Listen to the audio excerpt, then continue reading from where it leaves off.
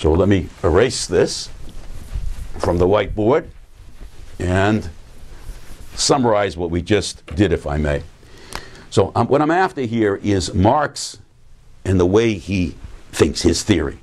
Well, the first thing I talked about, Marx and the way he thinks, the way he thinks about society, that his class theory of society was caused by the economic events. That had a shaping influence on Marx. But also, this last one I talked about, and also politics. He was a refugee. That shaped the way he understood society. But also, culture. That is, I just told you, Marx studied the Greek philosophers, he studied British political economy, French socialists, and so much more. So all those different ideas, the, the economics of Smith and Ricardo, the, the, the struggle of the, the, uh, uh, the struggle of the ancient philosophers with the notions of causation, the socialists of the time, all shaped Marx's ideas. And of course, besides economics and political and cultural events, he was also shaped by nature. I mean, you can't leave that out. Okay, you know how much hair he had, his height, um, his frame, um, his you know his brain also was a function of biology and chemistry. I mean, like like the rest of us. These are different kinds of causations, different kinds of determinations. So, political events help to determine him, shape him, economic help to shape him, and the result of all of this, if I keep on doing this, is of course Marx.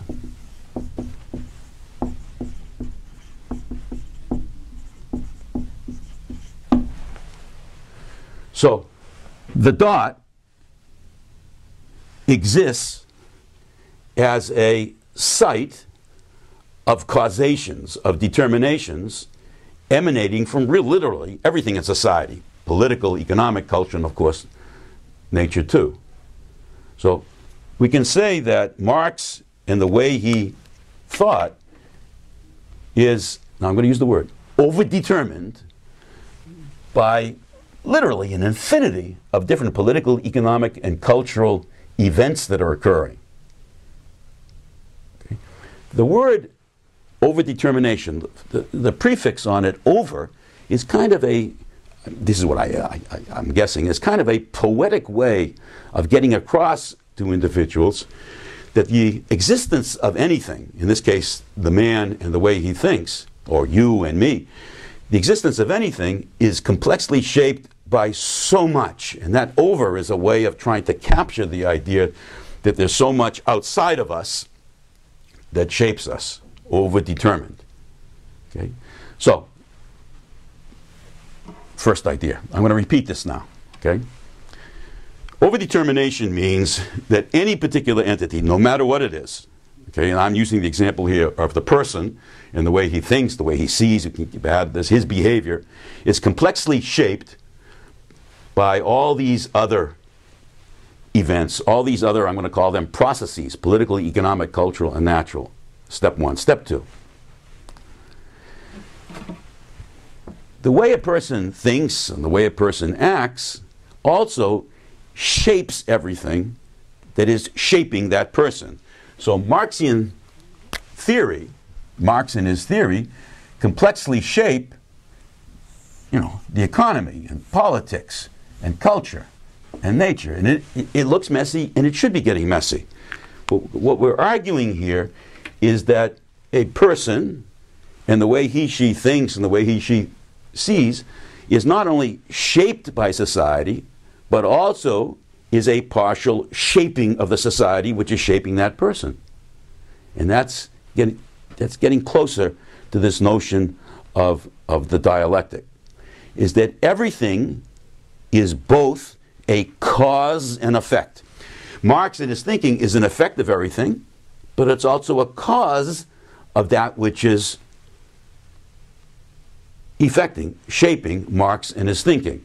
So nothing in the world, according to this theory, is only a cause or only effect. Everything is both cause and effect, and that's that's the lesson of this this uh, uh, dialectic. Why this is going to be uh, very important in terms of the next thing that we're going to to talk about is that when we discuss epistemology, this theory of, of knowledge that, that I uh, uh, mentioned to you in the introductory uh, lectures, there we're going to discuss the connection between two kinds of entities. The way a person thinks and all the political, economic, cultural, and of course natural experiences that the person um, has. And in terms of what we just did, if we deploy this notion of, of overdetermination, we're going to argue there that the way a person thinks complexly shapes his or her experiences, and his or her experiences complexly shape the way a person thinks. Sounds logical. Rationalism and empiricism, the two great uh, uh, epistemologies, traditional epistemologies, I should say, have a very different notion of causation. Empiricists are going to claim that our experiences shape the way we think, but there's no feedback from thinking to our experiences. So, in the last instance, experiences will be the foundation for truth.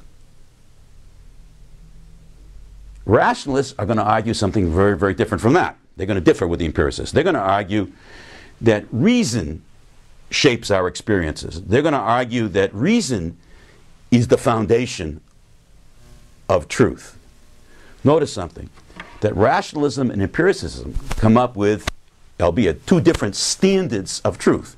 Empiricism, experience, rationalism, reason, or logic.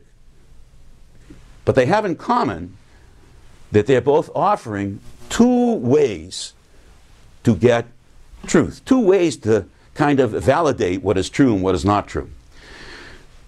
Marx is presenting a critique of them and an alternative, which is saying there's no way to do that. Why? Because the two standards that have been presented, experience on one part, or empiricism, rationalism on the other part, uh, or, I'm sorry, reason uh, by the rationalists on the other hand, they have they're not standards. They're not what, because they're not independent of one another. That is, thought and experience complexly shape one another, overdetermine one another, which is consistent with this kind of logic. So that on the next lecture, I'm going to begin to present that idea and why it's an important idea.